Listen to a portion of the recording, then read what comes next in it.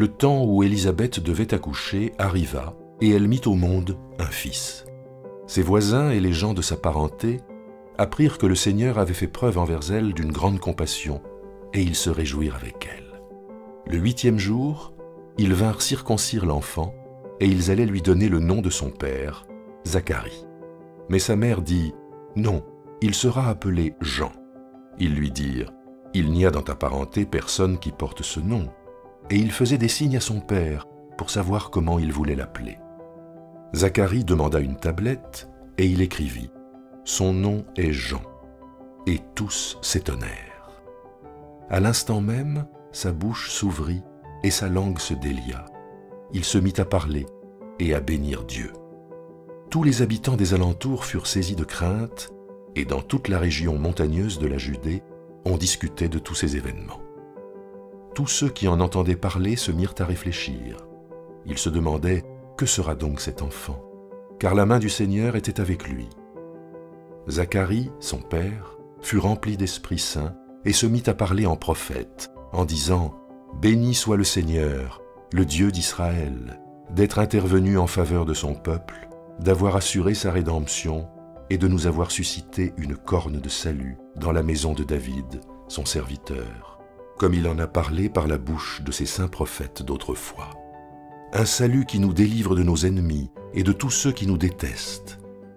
C'est ainsi qu'il montre sa compassion envers nos pères et qu'il se souvient de son alliance sacrée selon le serment qu'il a juré à Abraham, notre Père.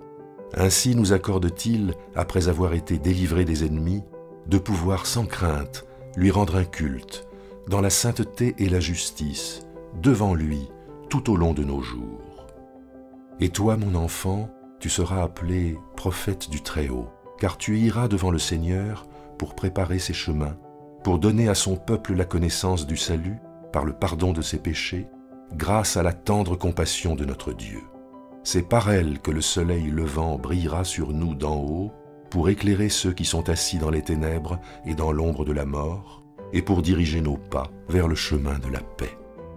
Or l'enfant grandissait et devenait fort par l'esprit. Il demeurait dans les déserts jusqu'au jour où il se présenta devant Israël. Alors voilà, euh, Florence, donc ce texte-là, euh, nous sommes le, 24 juin, et dans la tradition de l'Église, le 24 juin, c'est euh, la fête de, Jean, Jean, baptiste ou Jean le, baptiseur, tel qu'il est dit ici. Euh, donc le 24 juin, qui est six mois avant le 24 décembre, donc six mois avant Noël. Et donc, alors, on nous raconte le récit de la naissance de, Jean. Avant de venir plus profondément dans le personnage, d'abord quelques mots sur le personnage de Jean. Que pouvons-nous en dire? C'est-à-dire qu'on ce qu'on peut dire, c'est que l'évangile de, Luc est le seul à vraiment développer euh, l'histoire de Jean. Bien sûr qu'on rencontre Jean le Baptiste ou le baptiseur dans les autres évangiles, mais à vraiment développer son histoire, euh, euh, seul l'évangile de Luc le fait, donc en le plaçant dans une famille sacerdotale, puisque son père est, prêtre. au temple de Jérusalem, et lui, il apparaît comme un prophète, peut-être l'ultime prophète, le dernier des prophètes, en tout cas celui qui va annoncer euh, la venue de celui qui vient, c'est-à-dire la venue du, Christ. Et ils ont un lien de famille, euh, tous les deux, puisque euh, Élisabeth et Marie sont présentées comme cousines. Comme cousines. Mm. D'accord, ok.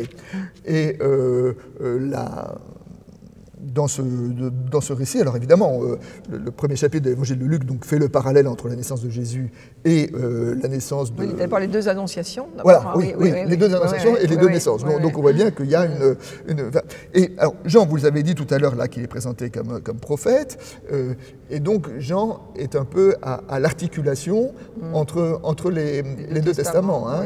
Et quand d'ailleurs il y a eu l'annonciation à Zacharie, ben, l'annonciation à Zacharie en nous, disant il sera prophète, il sera Élie. Enfin, on fait référence à la fin du Premier Testament, avec euh, enfin, euh, la fin des livres prophétiques, avec euh, qui annonce le retour de Élie. Et là, on dit que Jean sera Élie. Donc, donc d'une certaine manière, ce, ce, texte est un texte qui, fait suture entre, entre Les, les, deux testaments.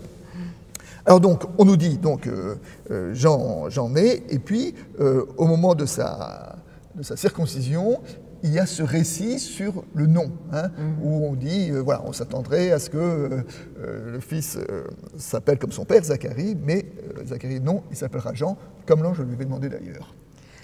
Oui, alors c'est alors, cette histoire de, de nom qui n'est pas habituel, enfin, je dirais. Oui, et, enfin, euh, en, fait, normalement, un, un garçon euh, juif, ne, en tout cas aujourd'hui, ne porte jamais le nom de son père. Oui, mais là, on s'attendrait à ce qu'il s'appelle Zacharie. Enfin, oui, mais normalement, les, mœurs étaient différentes. Ah, Peut-être parce qu'on ne devrait pas. Normalement, il ne devrait pas porter le nom de son père. On ne porte pas le nom de quelqu'un de sa famille qui est vivant. D'accord. Normalement. Alors, je ne sais pas. Peut-être que c'était différent à l'époque. En tout cas, on voit là.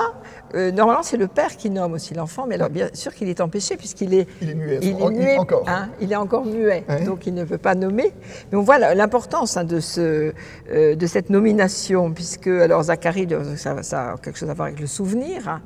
Et euh, Alors, Zacharie, voilà, ah. donc, donc il, faut il, faut dire quelques mots là. Hein. Donc, euh, Zacharie, euh, Dieu s'est souvenu. Hein. Voilà, Dieu s'est souvenu. Voilà. Élisabeth, mm. c'est Dieu a promis. Oui. Et Jean, c'est Dieu fait grâce. Oui, et puis dans Élisabeth, il y a la maison aussi, il y a un bête. Oui, oui, oui, oui, oui, Donc la promesse, c'est la maison qui donne la grâce. Enfin voilà, donc on joue là autour. Et, Dieu fait grâce. Donc on voit bien qu'il y a toute une annonce théologique et spirituelle hein, dans, dans, ces histoires de, de, de prénoms.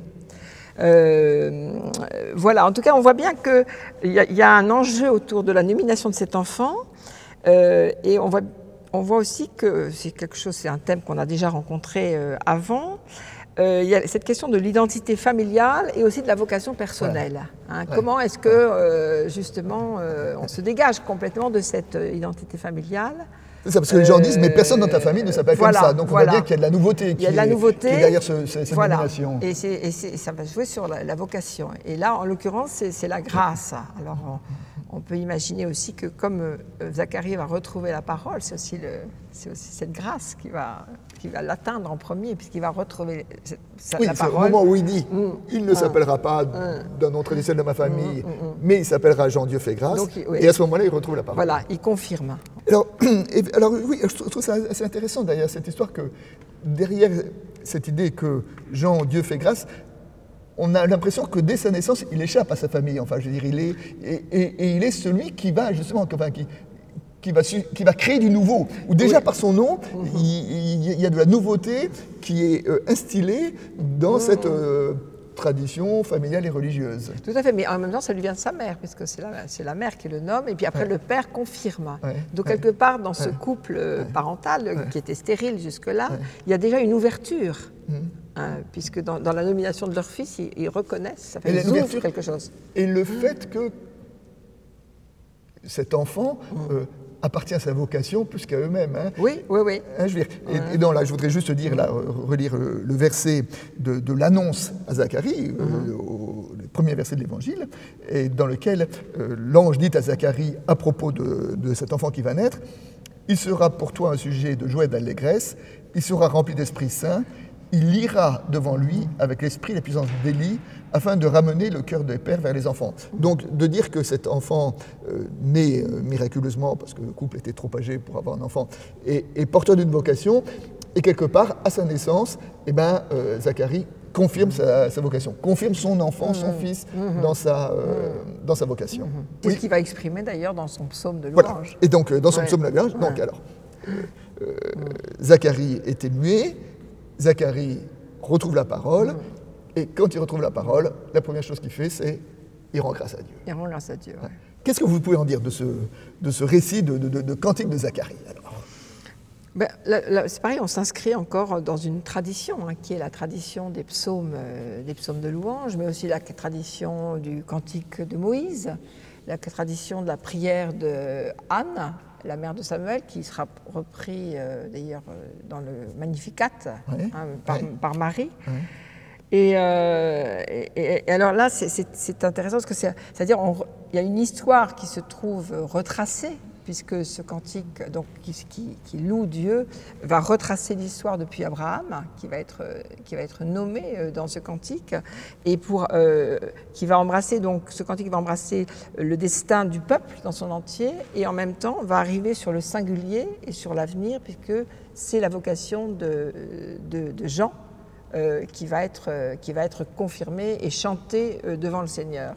Euh, je, crois que c'est quelque Donc chose. Donc c'est à fois un cantique de louange et un cantique qui est très théologique, parce que comme vous dites, il fait le parcours euh, mm, mm, mm, d'Abraham, bah, presque à, Jésus, on peut dire. Enfin, oui, parce que c'est oui, c'est ça. Dieu avait fait serment à Abraham, notre ancêtre, de nous libérer du pouvoir des ennemis. donc on, remonte à, la source, quoi, à la source. Alors, et ce qui est d'ailleurs, il y a un petit détail là, on dit que Zacharie fut rempli d'Esprit Saint et se mit à parler en prophète. Il mm-hmm. se mit à parler en prophète, et c'est en prophète que euh, donc il, dit son cantique et qu'il parcourt euh, ce chemin.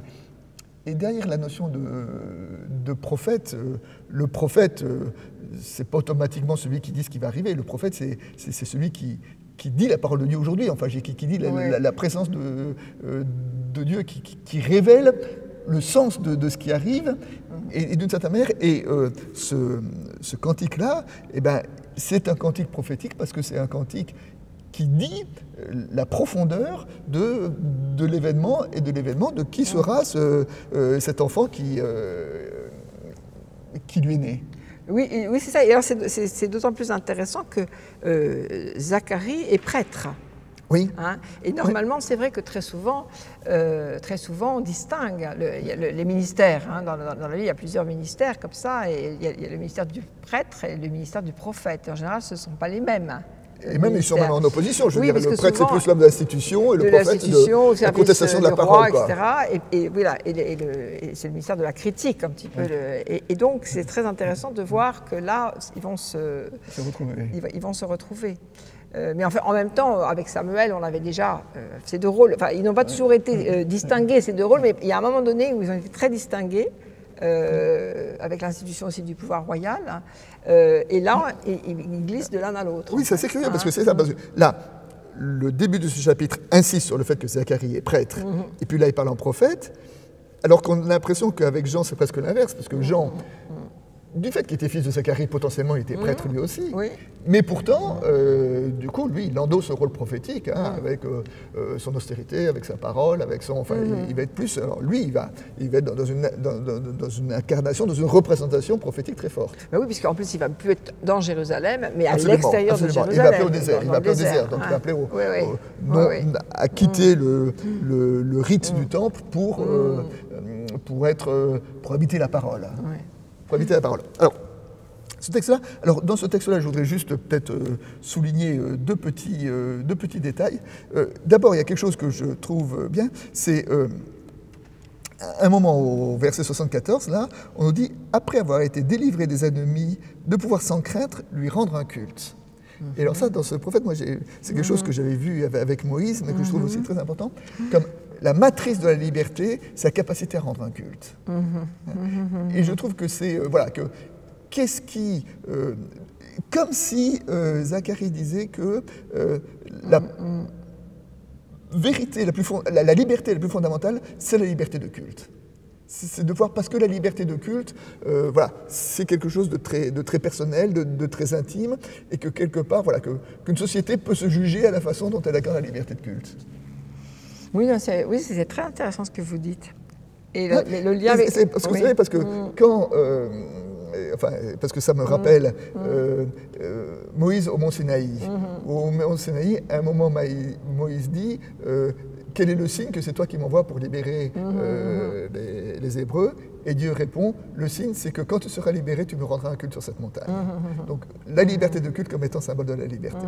On l'avait trouvé chez Moïse, et là on la retrouve dans ce, dans ce, dans, ce texte de Zacharie, dans, cet hymne de Zacharie. Dans, cet hymne, oui, et c'est ce qui est rattaché à Abraham, puisque Dieu avait fait serment de cette liberté de... Voilà, donc Abraham, Moïse, liberté de culte, et puis donc avec euh, euh, l'annonce prophétique de, euh, de qui sera Jean, hein, ira devant le Seigneur pour préparer ses chemins. Donc préparer le chemin du Seigneur, pour donner la connaissance du salut, le pardon des péchés, la compassion de Dieu. Alors, pour revenir là, ce que vous disiez sur la liberté de culte, alors on peut, ça peut éclairer aussi le ministère de Jean d'une façon particulière, parce qu'on peut se dire, est-ce que justement dans un contexte d'occupation, puisque là il y a un contexte d'occupation romaine, euh, avec euh, aussi tout un, tout le, tous les prêtres, etc., qui sont un peu sous l'emprise de ce pouvoir qui fait peser des menaces aussi sur, eux, donc avec lesquels ils doivent composer, est-ce que justement la liberté de culte, c'est pas au désert qu'elle est possible. Ce qui donnerait encore un, sens euh, peut-être euh, enfin pas nouveau, mais et qui pourrait donner une lumière sur le ministère de prophète de, Jean le Baptiste au désert. Oui, parce que derrière la liberté de culte, il y a cette idée de l'appropriation euh, de la, du, culte et de, de non pas accomplir un rite qui m'est extérieur, mais comment est-ce que je le reçois, comment, je, le je suis en relation libre euh, avec Dieu. Et en cela, c'est bien une annonce de l'Évangile. C'est bien, donc, donc dès la naissance de, mm. de, de Jean le, et la parole de Zacharie à son sujet, mm. il y a quelque chose qui nous annonce euh, l'Évangile. Et puis pour terminer, moi, d'une certaine manière, j'aime bien aussi cette idée que euh, c'est Zacharie qui donne son ministère à son fils. Mm. Enfin, je dirais, c'est, hein, il y, a quelque chose de, très beau en disant de, et on sait que, que pour Zacharie, ce serait peut-être pas facile d'avoir son fils qui sera un ascète, d'avoir son fils qui finira mal, et pourtant qui, lui, qui lui accorde sa vocation. Ah oui, ça c'est, ça, ça c'est magnifique. Sans oublier Elisabeth, hein, qui lui a donné son nom. moi, je parlais de Zacharie parce que je suis là, parce que je suis père, mais je comprends très bien que vous, vous soyez sensible à Elisabeth, qui lui donne ce nom et qui permet à, à leur mm. fils euh, mm. d'être ce qu'il va devenir.